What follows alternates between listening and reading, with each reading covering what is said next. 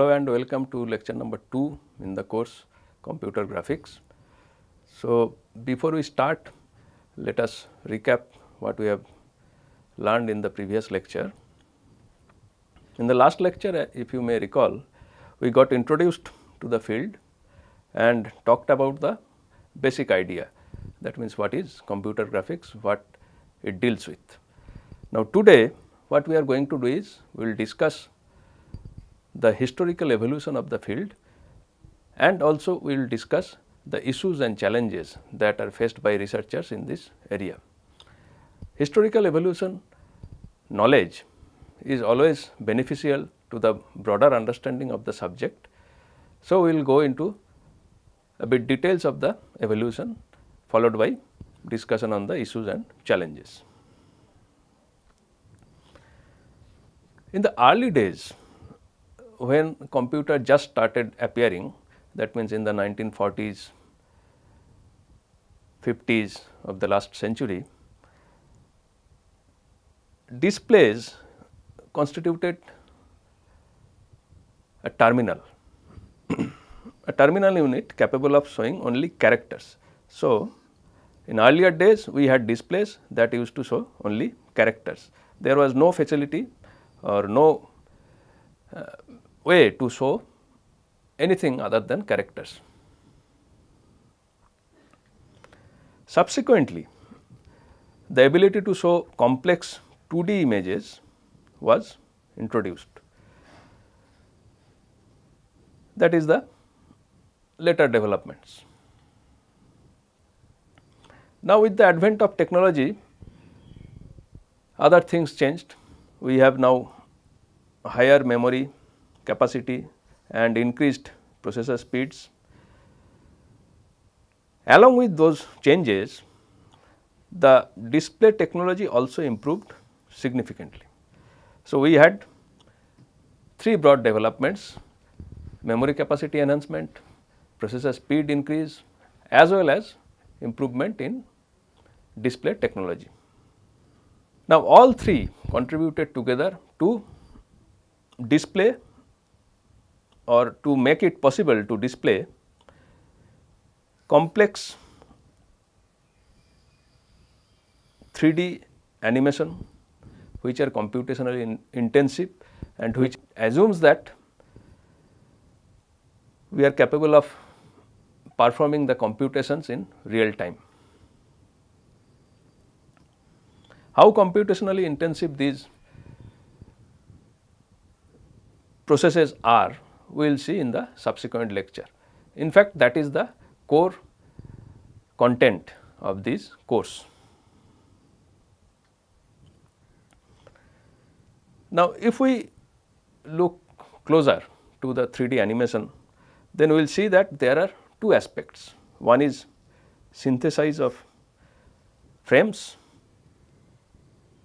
and the second one is combining the frames together and render them in a way such that it generates a perception of motion or generates the motion effects. Now, synthesis of frame as well as combining them and rendering them on the screen to generate motion are complex processes and they are also resource intensive.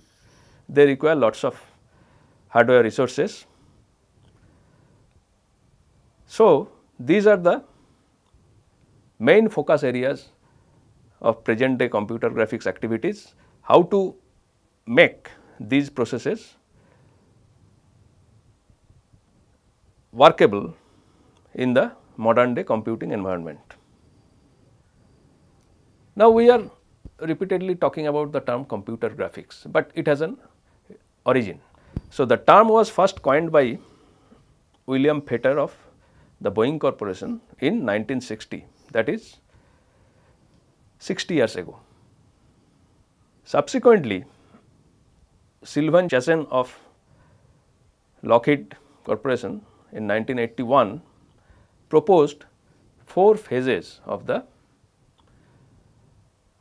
evolution of the field. What are those phases? The first phase was conception to birth which is typically considered to be between 1950 and 1963. This is also known as the gestational period. The second phase is the childhood phase of short duration 64 to 70 in the last century. Then we have the adolescence. This is again somewhat significant phase and spanned between 1970s to the early phase of 1980s. And then we have the adulthood which is still continuing starting from the early 1980s. So, these are the four phases that was proposed by Sylvan Chasen in 1981 gestational period, childhood, adolescence period and adulthood. Now, let us have a quick look at the major developments that took place in each of these phases. Let us start with the first phase that is the gestational period between 1950 and 1963 at the early stages of computers. Now, if you are aware of the evolution of computers in the early phases, then you know that that phase the gestational period also coincides with the early developmental phases of the computing technology itself. So, that was the phase when technology evolved.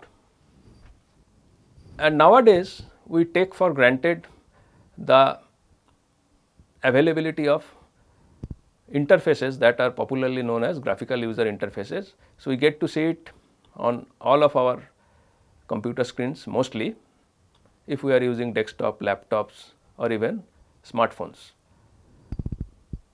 But in that phase in the gestational period the GUI concept was not there.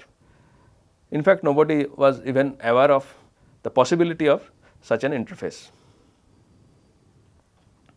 It could not be imagined even.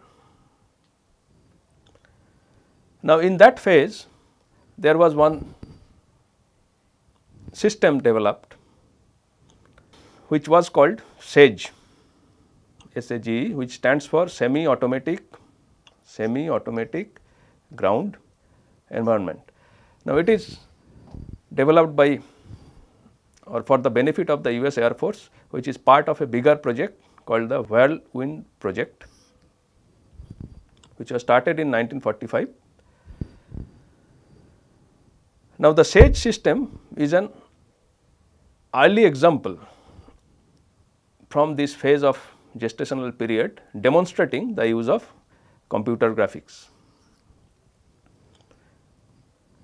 What this system does or what this system did. Now, the basic idea of the project was to get the positional information of an aircraft from radar stations. That is typically the job of radar network. Now, there is an operator who like this operator here who was sitting in front of a screen as you can see, but not the traditional screens that we are accustomed with, but early version of a screen and on this screen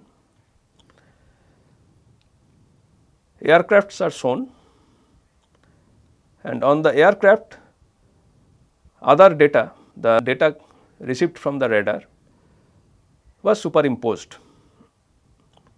So, essentially what we have is that on the screen a geographical region is shown and on that region aircraft information is shown.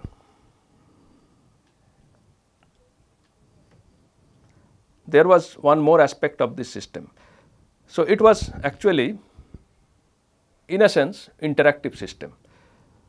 So, the operator can actually interact with the system with the use of an input device called a light gun or a pen, light pen.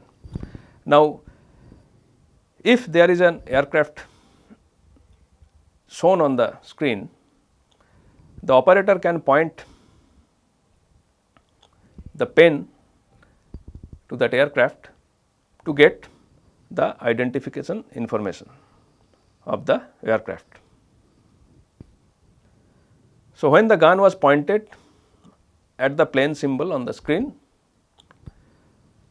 an event was sent to the whirlwind system which in turn sent the details as text about the plane or about the identification information of the plane which was then displayed on the screen of the operator.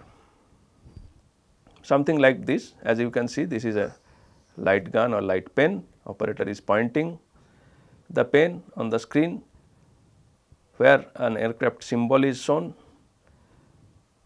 And once the pointing is done then the system send, sends a message to the overall system whirlwind system which had all the information which is sent back to the interface to be seen by the operator.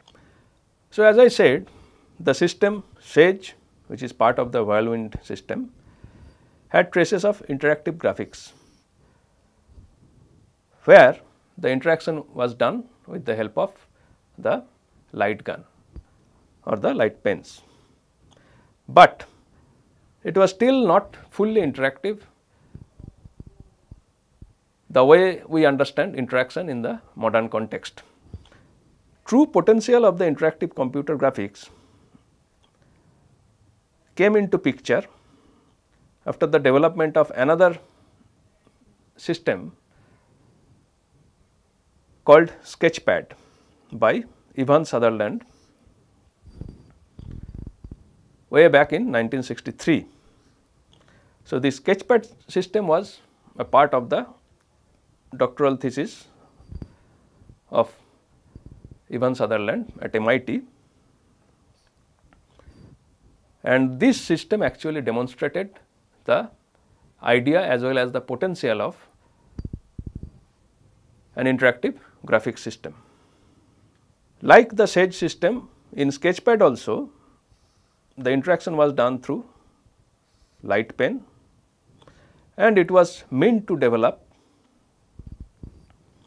engineering drawings directly on a CRT screen. So, here the operator need not be a passive input provider instead active input can be given in the form of creating drawings itself on the screen. An example is shown in this figure as you can see this is the screen and on the screen an operator is holding the light pen to create a drawing here. Now, this sketchpad system actually contained many firsts. It is widely considered to be the first GUI, although the term GUI was still not popular at that time. It is also credited with pioneering several concepts of graphical computing, namely how to represent data in memory, how to deal with flexible lines, ability to zoom in and out, draw perfectly straight lines, corners, joints. These are things that nowadays we take for granted, but these were very very difficult at that time and Sketchpad actually managed to demonstrate that these are possible. Accordingly, Sutherland is widely acknowledged by many as the grandfather of interactive computer graphics. Now, along with Sage and Sketchpad, this period gestational period also saw development of many other influential systems. During this phase, first computer game called Spacewar was developed in 1961 on a PDP-1 platform which is an early computing platform. IBM also developed first CAD or computer aided design system. Recollect from our previous lecture, these systems are meant for helping engineers create mechanical drawings and test various things without actually requiring to build the system. And in the gestational period, IBM came up with this first CAD system in 1964, although the work started in 1959. Now, the gestational period was followed by the childhood period, which is reasonably short duration period only of 6 7 years. Now, in this period not much significantly new things happened only whatever was developed earlier in the gestational period further development took place along those lines and consolidation took place of the earlier ideas. Then came the adolescent period mostly confined to the 1970s and early phase of 1980s. Now, in this phase again many new things happened. In 1971, Intel released the first commercial microprocessor called the 4004. Now, as we all know with the coming of this microprocessor, a paradigm shift took place in the way computers were designed. And that in turn impacted the computer graphics field in a significant way by making computations less costly and affordable. As a result, in this period several interesting things happened. Primarily two types of developments took place. One is techniques for realistic 3D graphics and several applications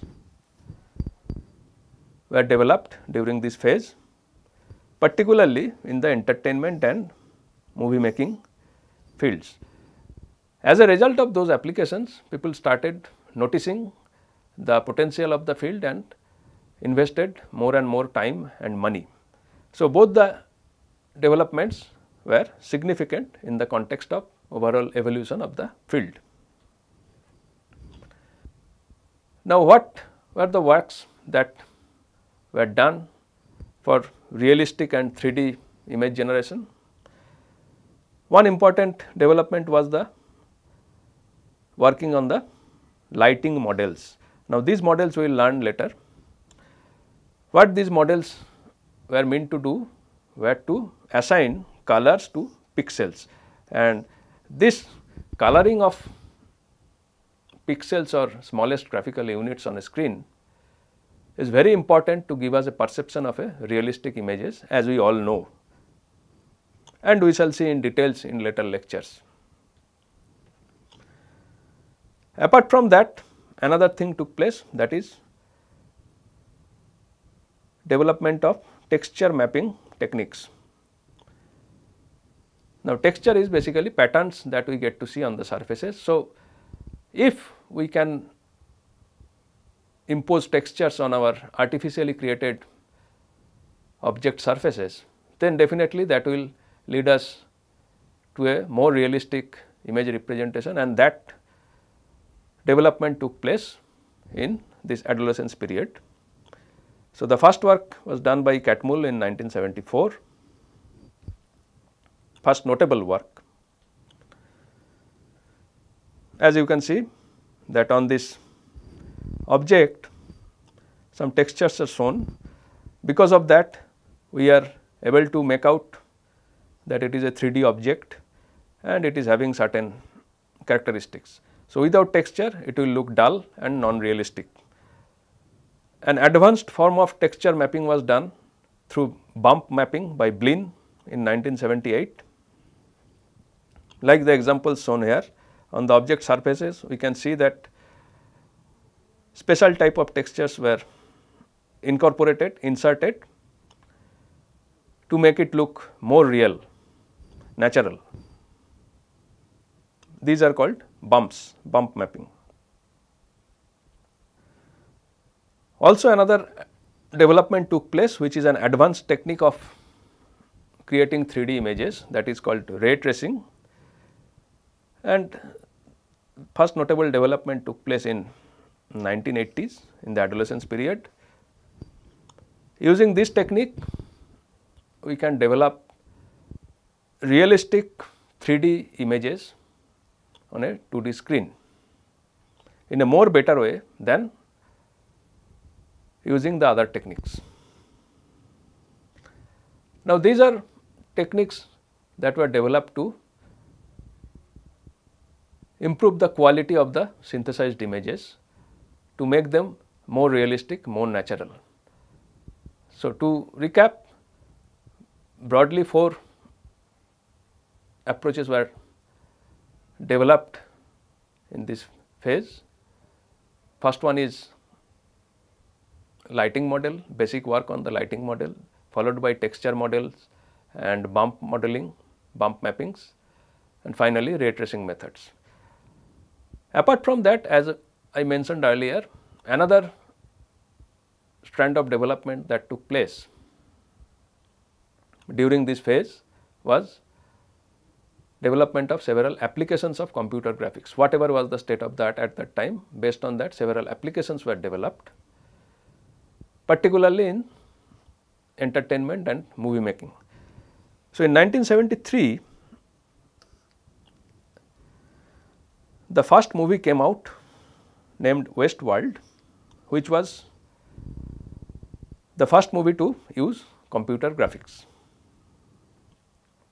This was followed in 1977 by the movie Star Wars. I think most of you if not all may be aware of this movie. So, the first movie came out in 1977 and it became hugely popular throughout the world and as a result people learned about the potential of computer graphics in a more compelling way. The adolescence period was followed by the adulthood period starting from the early phase of 1980s. Now, in this period the field entered the adulthood with the release of IBM PC in 1981. Now, as we all know after the advent of the PC or personal computers, computers became a mass product. Earlier it used to be confined to only a few people who are well educated in an advanced stage of studies and primarily does research or development works using this. But after the advent of PC it proliferated and become a mass product. And since it had become a mass product, focus now shifted to the development of applications that were appealing to the masses. And using computer graphics, lots of such applications were developed and focus shifted from graphics for expert to graphics for layman. And as a result we got to see several developments including the development of GUIs and the associated concepts. In fact, so many developments took place that it gave rise to a new field of study which is called human computer interaction or HCI in short. One thing happened during this phase. A self sustaining cycle of development emerged. What is that? As more and more user friendly systems emerge, they create more and more interest among people. In turn, that brings in new enthusiasm and investments on innovative systems. So, it is a self sustaining cycle of development more and more applications are there that is appealing to more and more people and the people in turn want more and more. So, more and more investment came and it continued and it is still continuing. And as a result of this self sustaining cycle of development, other associated developments took place. So, from CPU we migrated to GPU or graphics processing units, dedicated hardware for graphics. Storage capacity improved significantly to be able to store and process large amount of data required for 3D realistic graphics. So, now we are talking in terms of terabytes, petabytes instead of kilobytes or megabytes that used to be the case earlier. Similarly, display technology have seen a huge improvement from the earliest cathode ray tubes to modern day touch screens or situated walls or even better things. So, all these took place because of this self sustaining cycle of development. So, we can say that these technological developments brought in paradigm shift in the field and we are now in a position with the help of new technologies to develop algorithms to generate photorealistic 3D graphics in real time. So, all these things are important and this will form the core subject matter of our discussion in subsequent lectures. Now, note that all these are computation intensive process and because of the advancement in technologies, such computation intensive process has become manageable, possible to implement in real time. And since we are able to do those things now, then the appeal and application of computer graphics have increased manifold and presence of all these factors implies that the field is growing and will continue to grow in the foreseeable future. So, that is in brief the evolution of the field, four phases starting with the gestational period to the adulthood and the major developments we briefly discussed. Now, let us shift our focus to another important aspect of the field that is what are the issues and challenges that confront workers in this field. Now, in the formative stages of the field primary concern was as we all know generation of 2D images or 2D scenes. But again as we have already discussed that subsequently changed and 2D graphics is no longer the thrust area and we are mostly focused on nowadays we are mostly focused on the generation of 3D graphics and animation. In the context of 3D graphics and animation there are three primary concerns related to software, software development for the system. One is modeling which essentially means creating and representing object geometry in 3D world. And here we have to keep in mind that we are not only talking about solid geometric objects, but also some phenomenon such as billowing of smoke rain, fire, some natural events phenomenon. So, how to model both objects as well as phenomenon that is one concern. Second concern is rendering essentially creating and displaying 2D image of the 3D objects. Why 2D image? Because our screen is 2D. So, we have to convert the 3D objects into a 2D form. So, then this rendering deals with issues related to displaying the modeled objects on the screen and there are some other related issues involved namely color, coloring of the pixels on the screen, color and illumination which involves simulating the optical process. Then visible surface determination with respect to the viewer position, texture patterns on the surfaces or texture synthesis to mimic realism, 3D to 2D transformation and so on. So, these are the issues that are there in rendering. Then the third issue,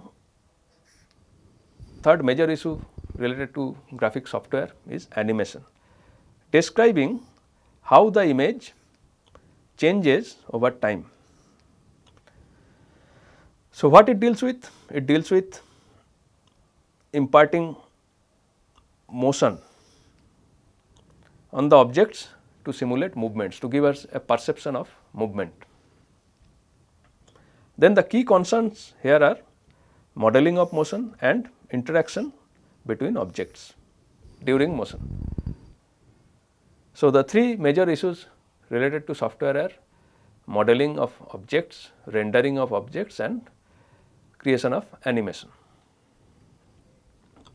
Now, there are some hardware related issues as well. Why those are important? Because quality and cost of the display technology is of important concern because there is always a trade off between the two quality of the hardware as well as the cost. So, we cannot get high quality in low cost and vice versa. And while building a graphics system application, we need to keep in mind this trade off. Along with that, we need to keep in mind selection of appropriate interaction device because nowadays we are talking of interactive computer graphics. So, the interaction component is important and it is important to choose an appropriate mode of interaction or input device such that the interaction appears intuitive to the user. The user should not be forced to learn complex patterns or complex operations. It should be as natural as possible. Finally, design of specialized graphic devices to speed up the rendering process is also of utmost importance because graphics algorithms are computation intensive and if we can have dedicated hardware to perform those computations then we can expect better performance. Now, the issue is how to design such hardware at an affordable cost and that is of primary concern related to hardware uh, platforms for computer graphics. So, from the point of view of hardware, we have this quality of the hardware as well as cost trade off to keep in mind. Also, we have to keep in mind the type of input device we are using as well as the dedicated graphic systems that we can afford. Now, one thing we should note here is that in this course we shall learn how the issues are addressed, but we will not discuss issues related to animation. We will restrict our discussion to modeling and rendering of 2D images on the screen. So, whatever we have discussed so far can be found in chapter 1 of the book that we are following you are advised to go through section 1.1 and section 1.2 for getting more details on the topics that we have covered today. So, that is all for today. We will meet again in the next lecture. Thank you and